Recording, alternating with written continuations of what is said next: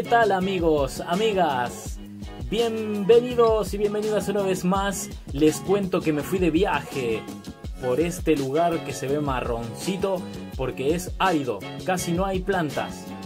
Miren, así se veía desde mi moto, porque otra novedad es que me he ido en moto a transitar las rutas, los caminos en soledad o no. Aquí encontré algunas amiguitas que no quisieron ser grabadas. ¡Ey! Saluden a la cámara, chicas. Miren, así se veía el camino. Y bueno, pues decidí hacer algo y digo, les voy a mostrar a las personas que siguen este canal cómo es el paisaje y qué plantas hay, porque este canal es de plantas, ¿verdad? ¿Qué plantas hay en este lugar desértico? Pues como ven hay muchos arbustos. Había algunos agujeros que creo que lo hicieron algunos animales que se llaman pichi. Son unos armadillos. Creo que ellos son quienes hicieron estos agujeros para refugiarse del frío de la noche. Así se ven, miren, ahí les dejo una foto. Y bueno, seguí viendo cómo era el paisaje, seguí observando las plantas. Aquí encontré una especie de caléndula que tiene algunas hojitas verdes y otras secas. También algunas flores. Se puede ver fácilmente que aquí hubo flores. Y me puse a buscar algunas semillas para ver si las podía hacer germinar en mi jardín, pero no, porque no hay semillas. Aparentemente la polinización no funcionó aquí, no hay muchos insectos tampoco, pero de alguna forma se reproducen estas plantas, ¿verdad? Habrá que ver cómo. Sinceramente, no provengo de esta región, así que no conozco prácticamente ninguna de las plantas que vamos viendo por aquí. Si alguien conoce el nombre de alguna, sería muy valioso que aportara con su conocimiento. Más arbustos, arbustos por aquí, arbustos por allá. Y la inmensidad del paisaje, miren, es interminable.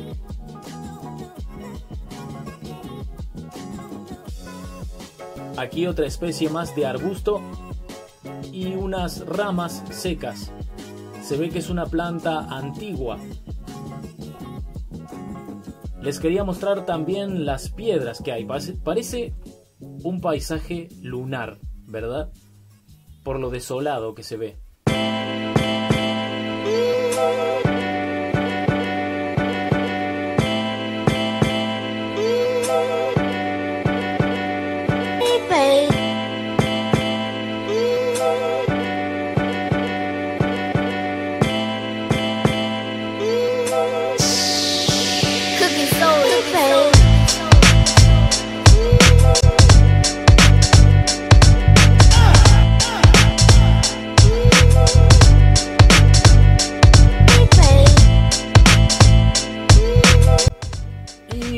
Aquí más arbustos que seguimos viendo.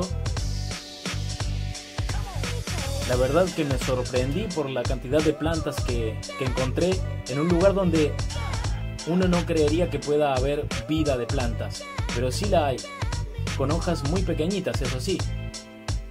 Y como sabemos, algunas plantas que viven en estas condiciones transforman la mayor parte de sus hojas en espinas y con eso evitan la pérdida de agua por transpiración. También estos arbustos crecen en grupos, como pueden ver aquí. Aquí hay un grupo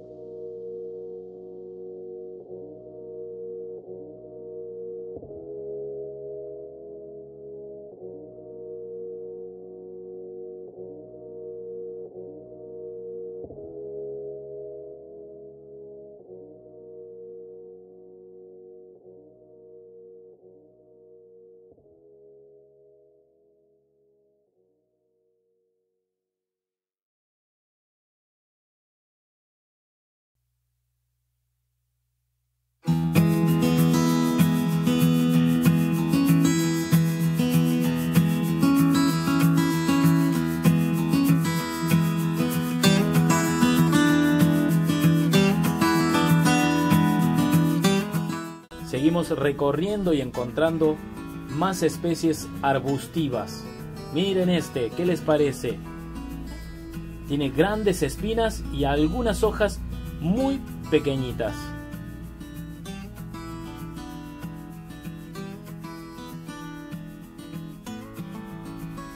Por aquí encontramos otro y en este caso tiene vainas.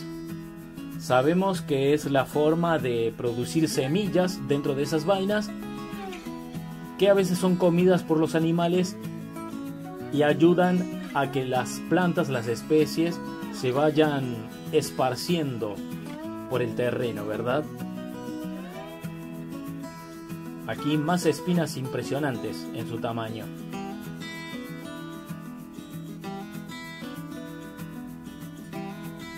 Como podemos ver, cada vaina tiene muchas semillitas en su interior. Varias, por lo menos 10. Y aquí una colección de piedras del lugar, como ven, de muchos colores.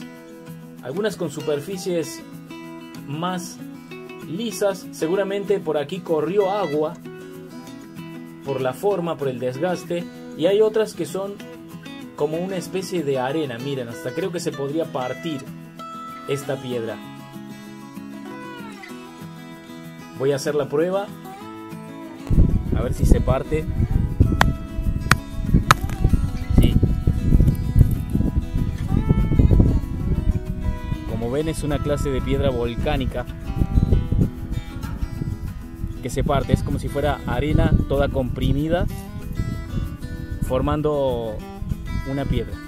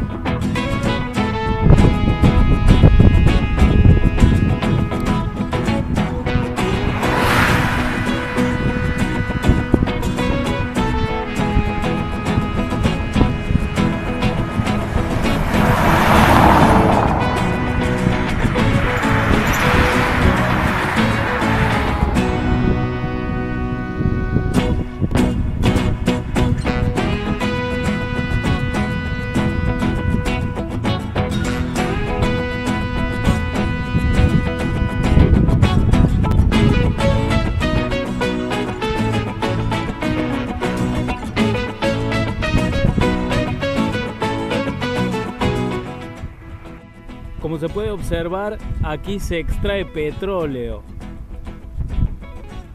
Hay una bomba.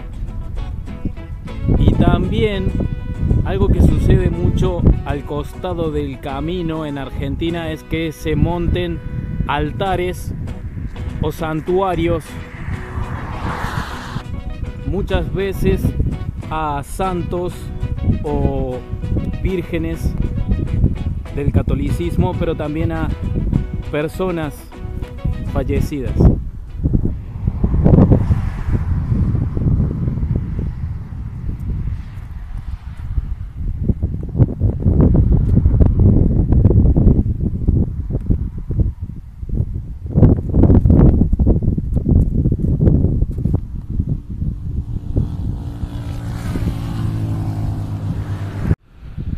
De estos santuarios rojos se ven muchos siempre y es de un santo no reconocido por la iglesia, pero que tiene muchísimos de estos lugares para que las personas vengan a rendirle culto. En este caso es de Gauchito Gil. Pueden buscar en internet, hay un montón sobre su historia.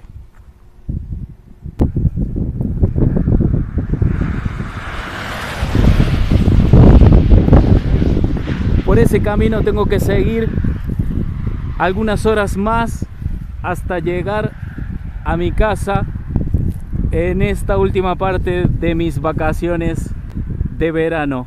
Eso es todo por el momento. Espero que les haya gustado